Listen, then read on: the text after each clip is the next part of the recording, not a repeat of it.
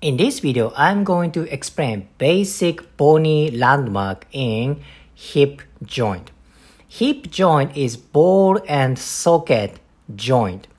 Pelvis side is concave surface. This is socket. And femur is convex. Okay, ball surface. Now they kind of fit like this.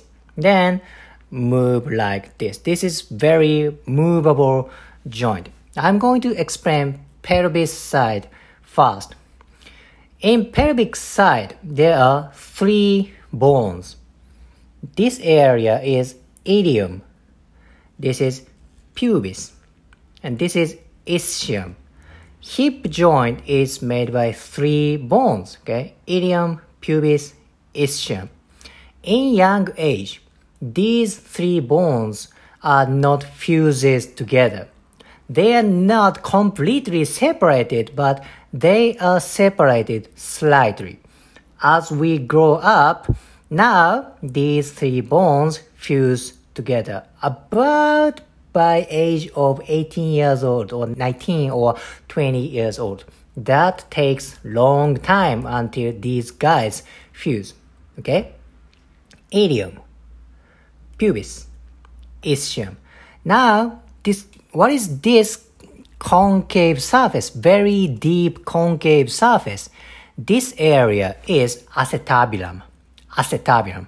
Acetabulum is where femur fits here. Uh, but this area, this concave surface is acetabulum.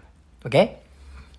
Ilium, pubis, ischium, acetabulum right here. Let's move on to femur. This is head of femur. Again, this is ilium. What is this concave surface? Acetabulum. Head of femur fits like that. Okay? Acetabulum. Head of femur. Now this part is neck of femur. Neck of femur. There is head you have neck. Okay.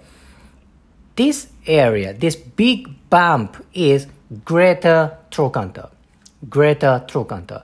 This place is also important because many hip muscles attach here. Like a gluteus medius, gluteus minimus. If you go to posterior, deep lateral rotators attach here. Greater trochanter if there is greater trochanter, there should be lesser trochanter. I move this model a little bit. Ah, you see that? This part, this part is lesser trochanter. Greater trochanter, lesser trochanter. It's slightly posterior part and medial part.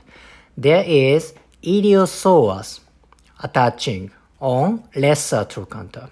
Okay, greater trochanter and lesser trochanter. These two places are so important for uh, palpation for muscle. And also, greater trochanter can be one criteria to evaluate posture and movement because this part is very easy to palpate. Okay?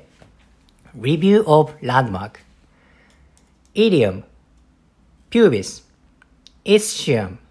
Three bones together, they make what? What is this concave surface? This is acetabulum. Head of femur fits into acetabulum. Okay? Head of femur. If there is head, there should be neck. Neck of femur. What is this big bump? This is greater trochanter many hip muscles attaching around greater trochanter. Also, this is easy to palpate. This is one criteria to evaluate posture and movement. And if you go a little bit deep, posterior part, this is lesser trochanter. Iliopsoas attaches here.